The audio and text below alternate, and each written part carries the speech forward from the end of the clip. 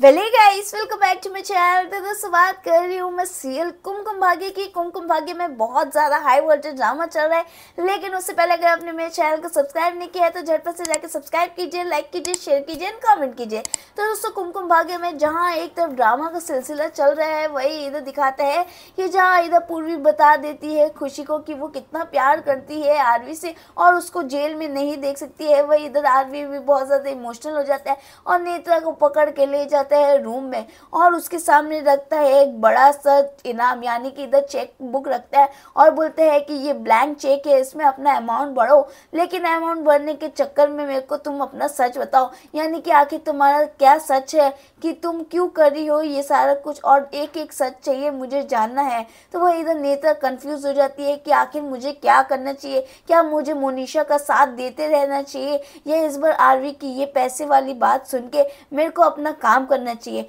वही देखने में ये भी इंटरेस्टिंग होने वाला है कि आरवी कब क्या ये जो चीज़ बोला है, उसका प्लान उसी पे उल्टा ना पड़ जाए और इधर नेत्रा मीडिया को बुला के इधर ये सारी सच्चाई बताए। वही देखने में ये भी इंटरेस्टिंग होने वाला है कि नेत्रा बता देगी मोनिशा का सच आरवी को आरवी और पूर्वी को आ जाएगा, मोनिशा का सबके सामने खुल जाएगा, बांडा या इसमें मोनिशा लाएगी कोई नया ट्विस्ट वही देखने में इंटरेस्टिंग ये भी होने वाला है कि आरवी और पूर्वी होंगे एक, या इसमें मोनिशा फिर से लाएगी कोई महायुद्ध का तड़का और होने वाला है अंगंग भड़का। सो दोस्तों, अगर आप लोग को ये वीडियो अच्छा लगे तो please like share subscribe and comment कीजिएगा और आगे की अपडेट्स के लिए मेरे चैनल में जुड़े रहेगा और दोस्तों मेरा नया चैनल स्टार्ट किया है तो मतलब मैजिक करके लिंक मैंने डिस्क्रिप्शन में डाल दिया, आप जाके चेकआउट कर सकते हो। जब तक के लिए थैंक यू